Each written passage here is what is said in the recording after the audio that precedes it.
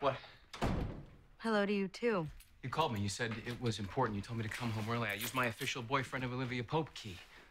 Now I'm here. So what? How many agents do you have under you?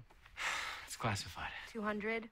2,000? Guessing won't make it any less classified. What are you I trying asked you to watch my father, see what he's up to, and instead of putting one of your unknown number of agents on it, you assign Quinn Perkins. I didn't. I saw her staking him out after I specifically asked you. You think not- I'm an idiot? That depends. Did you put Quinn on my father? No, I didn't. But let me be clear. You can ask a favor of me. But you cannot tell me how to do it, who to task, or anything remotely close to how to do my job because you have no idea how my world works. The responsibilities I have outside of the little errands you hand me, like playing your beard or keeping an eye on your father. Jake. And one more thing What? stock your damn fridge. If I'm gonna be your fake boyfriend all day, I'm gonna come home at the end of it and drink real beer and eat real food.